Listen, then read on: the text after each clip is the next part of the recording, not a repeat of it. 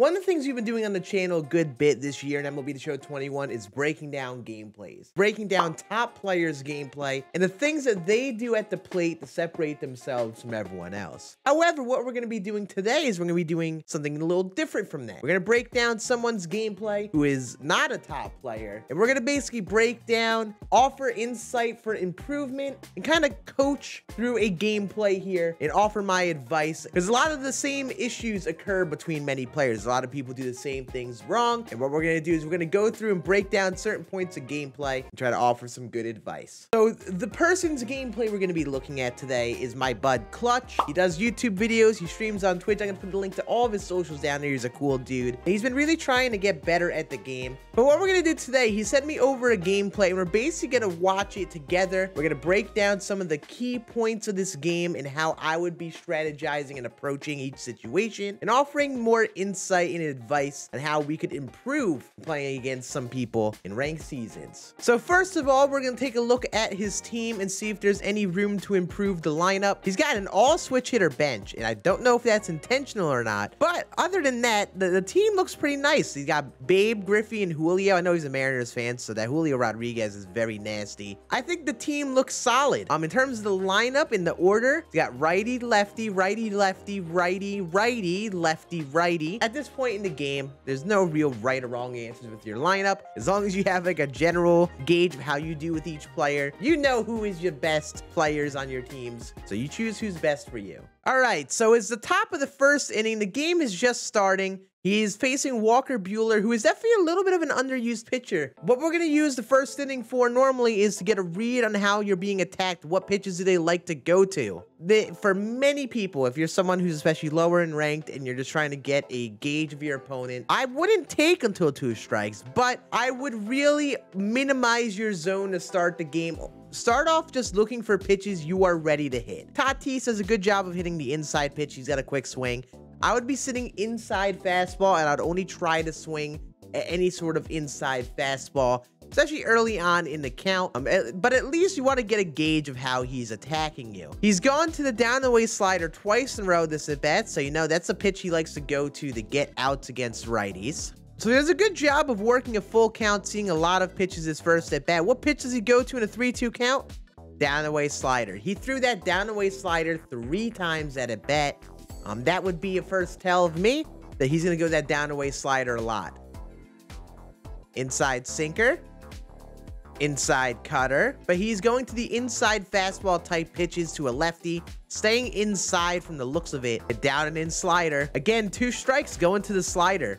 It seems like he is attacking the zone with the fastballs early on in the at-bat. Then going to that slider in the two strike count.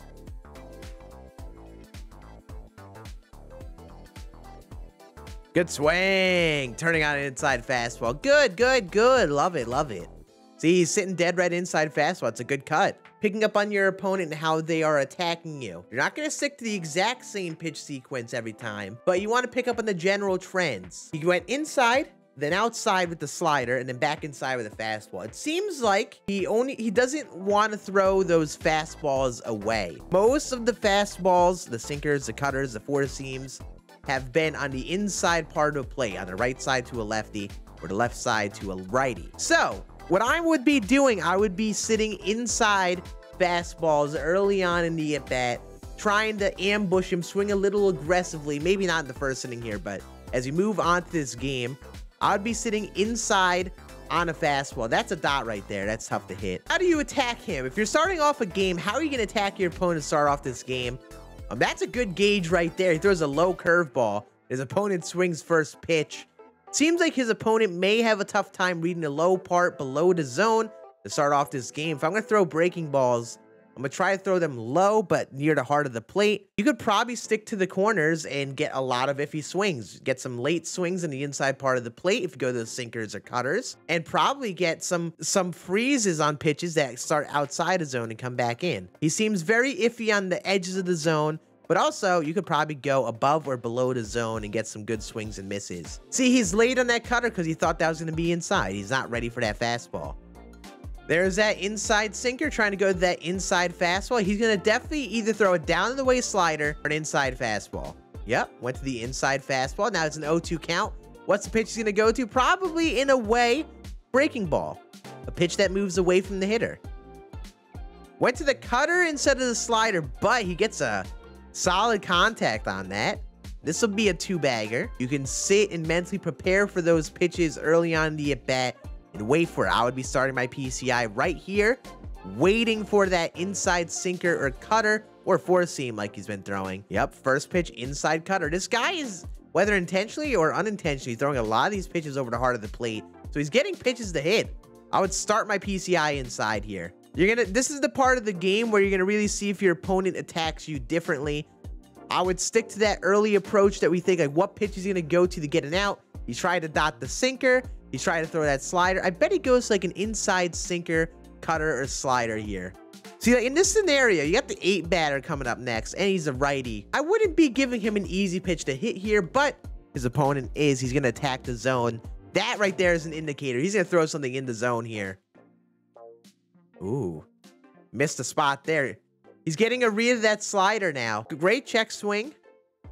Again, sitting inside fastball. Ooh, don't want don't want to swing at that first. If you're mentally sitting on an inside fastball, then you just mentally eliminate that pitch first pitch. And now you just gave him a little bit of a step up in this at bat. Inside fastball. I'm waiting for it. Ooh, see, he was slightly late on it. Ooh. What happened there is that first check swing probably messed with him that at bat. He, his approach was just thrown out for a loop in that at bat. That'll happen. That'll happen. Inside fastballs. Waiting on the inside fastball. Gets to the way one. Good adjustment. Way to get that PCI out there. There's that down in slider again. He got him to strike out on that pitch last AB. I'm just keeping my PCI inside here. I am ready for the inside pitch. Looking to turn and burn on a pitch. If I'm clutch, the main thing is where I'm starting the PCI. A big thing that a lot of people can do is just start your PCI in a dedicated part of zone where they think they're going to be pitched. And he threw inside that entire at bat. So I like starting the PCI inside, waiting for that type of pitch. I like to start the PCI kind of where I can expect the pitch, at least on the side of the plate where I expect the pitch is going to come. Helps a ton. Oh, did he time that? Did he do it? Ooh! He's now changing from inside to outside, but still you can see he's attacking early on in the at-bat with those sinkers. That's exactly what I was saying before. It's a great shot to ambush them, swing early on the at-bat, and be ready for those pitches because there's going to be some of your best pitches to hit. So yeah, he's absolutely dealing on the mound, hasn't even given up a hit. So let's just try to look at the pitching approach. Big thing I'm looking at with pitching I'm looking at my opponent's PCI placement, his swing timing. Even though it isn't always accurate, I'm trying to get a gauge of what my opponent is sitting on. That is the number one thing I'm doing. His opponent has not timed many fastball type pitches. He's laid on a lot of those, especially when they're located well on the corners. And I'm going to keep on going to those pitches over and over again until he proves to time them. Those sliders, risky pitches. He has just missed a few of those sliders. Whenever he hangs it, those are the pitches he's hitting the best. I'm doing almost like what his opponent's doing on the mound, but I'm going to attack in the zone early. I'm going to throw those sinkers, those cutters on the corners just like that. The opponent hasn't timed up any of them well. I'm going to stick to those. Throw in those breaking balls here and there, way out of the zone. Not even throwing them close. Because those are the pitches he's timing the best. He's Almost like he's sitting on the breaking balls. There it is. He's going to...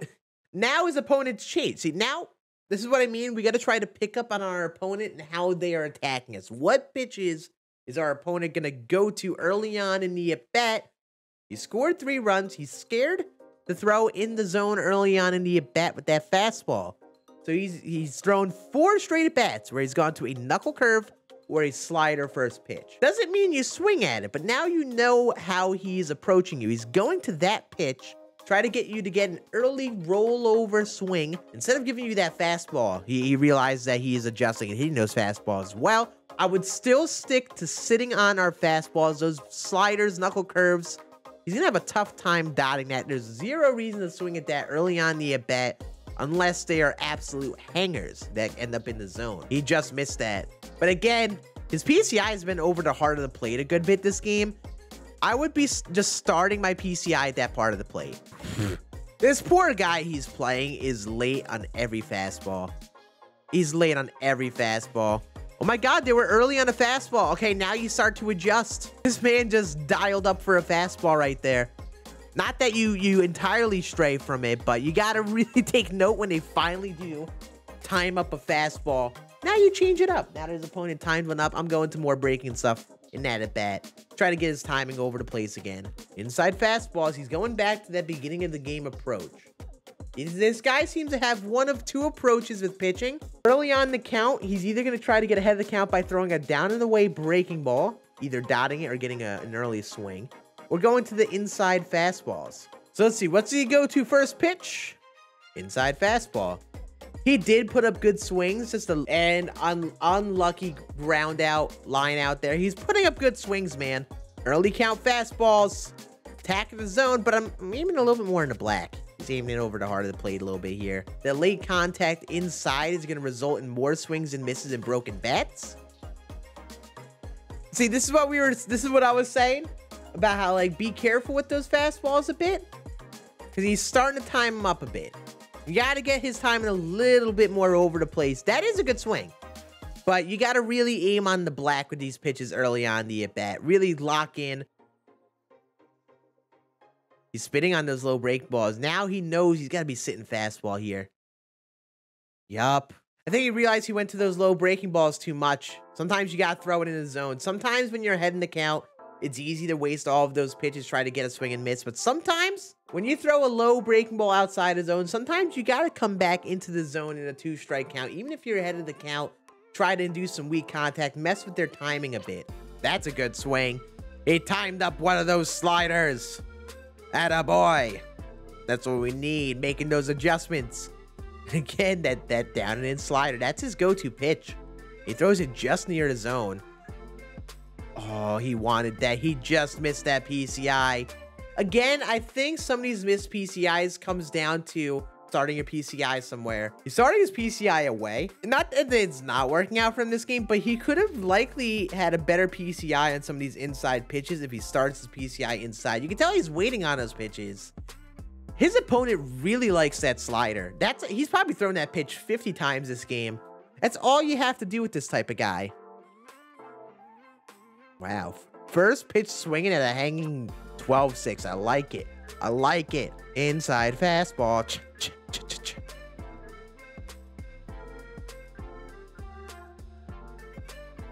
yeah. If someone throws two breaking balls out of the zone to you like that, that's likely setting up for them to come back in the zone with a fastball. So I, I, I was definitely another typical thing his opponent went to there. Poor Clutch. Poor Clutch. Ooh, who's he going to? He didn't warm up the pen. Oh, Lord. Don't go Clase. All right, this is gonna get spooky. With Clase, he's essentially a two-pitch pitcher, unfortunately. You can get him on the outlier if you're playing so... I mean, actually, it's not a bad move because the opponent's consistently late on outlier. Um, but I am definitely mostly going cutter slider. Those are two pitches. That's a good pitch right there. Dot. Um, slider. Slider away. Slider away out of zone. No! Oh, he's sitting on that fastball. He's sitting on that fastball. It's so easy to hit. Even though outlier the outlier cutter is solid, it's essentially the same as his four seam. Doesn't have that much break. Throwing the, the slider and cutters away to righties, off the plate inside the lefties. This is a good pitch. Ooh, he missed his spot. Breaking balls, don't hang those. He's been all over those all games. There's anything this opponent does well, he hits the hanging breaking ball. Oh no, oh no, oh no. Ooh, I can't believe he missed that. Get him out of here. Get him out of here. Get him out of here. Good decision. Still a better matchup, giving him a different look. He hasn't faced lefty like this all game. The across-the-body sliders are a big deal for Miller. With how he releases the ball, that slider seems like it has more movement because he throws across his body. That's a beautiful pitch. Beautiful pitch. Nice. And a boy, Clutch. Good work.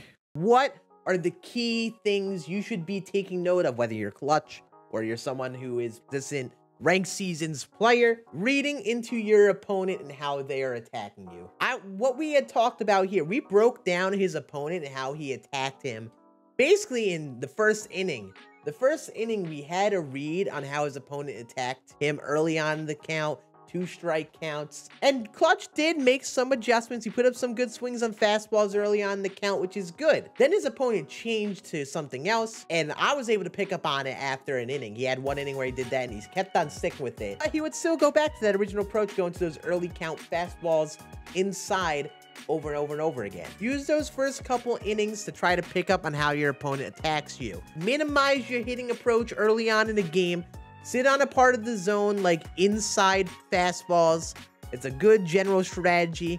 Sit on an inside fastball. Mentally tell yourself, swing at an inside fastball, and that'll be the only pitch you swing at until a two strike count. Early on the game, if you're confident enough as a hitter, I would sit inside fastballs. Try to pick up though on how your opponent is pitching you. Try to see some pitches. If it's not in that part of the zone, whatever part of the zone you want to sit on, don't swing. See some pitches. Try to pick up on the patterns, whether you're using it in game like this, or you go to the pitcher analysis in the pause menu. If he was in a call with me and I was telling him, hey, he's doing this, this, and this, he probably could have scored 10 runs off this guy because he just missed a few swings. Another thing, if you are mentally preparing and sitting on a pitch, especially early on in the count, and you you do have free reign of what pitches you could swing at, you have strikes to give, I would start my PCI in the part of the zone you're waiting for. If you're someone who's waiting for a high fastball, if you're waiting for an inside fastball, I'm starting my PCI in that spot for the pitch I'm mentally waiting on. And on the reverse with pitching, pick up on what your opponent is doing at the plate. If they're consistently late on fastballs, keep on giving them those fastballs as a majority of your pitch, especially early on in the at bat, until they prove that they are waiting for that fastball. If your opponent starts to get an early swing or a good timing swing on those fastballs, especially if they're inside of the zone, that means they're prepared for those fastballs at least a little bit, whether they're selling out on that pitch or they are just prepared to time it. At that point, then you start to mix in more of the breaking stuff. Get them a little bit early on the breaking ball. Do a lot of pitches over the plate here, here, when you could just wait a little bit and aim on the black and even aim a little bit outside and you'll get a lot of the same effect. And just take your time pitching. There's no rush. Try to locate right on the corners whenever you can. That's part of the reason I like pitching from a behind the hitter view because I see the zone more zoomed in. I can aim a little bit more precisely. And when you're looking from the pitcher perspective, the zone is so small. The, the tendency to aim like here and here is lot more probable and you kind of want to do that. But yeah, that is going to be it. If you guys enjoyed this type of breakdown and these type of tips helped you, make sure you hit that thumbs up and subscribe down below. We're going to be doing this, I think, throughout the, the latter part of the year, breaking down some gameplay, providing some good insight on tips, style, and giving individual tips on these situations. And make sure you come swing by the stream, come hang out. I do play a lot of MLB The Show on stream. So if you have any questions, want to hear any feedback, you want to watch me play the game more, make sure you swing by the Twitch, twitch.tv slash Scann. That's going to be it. I hope you guys enjoyed this video, and I will see you all again on the next one. Deuces.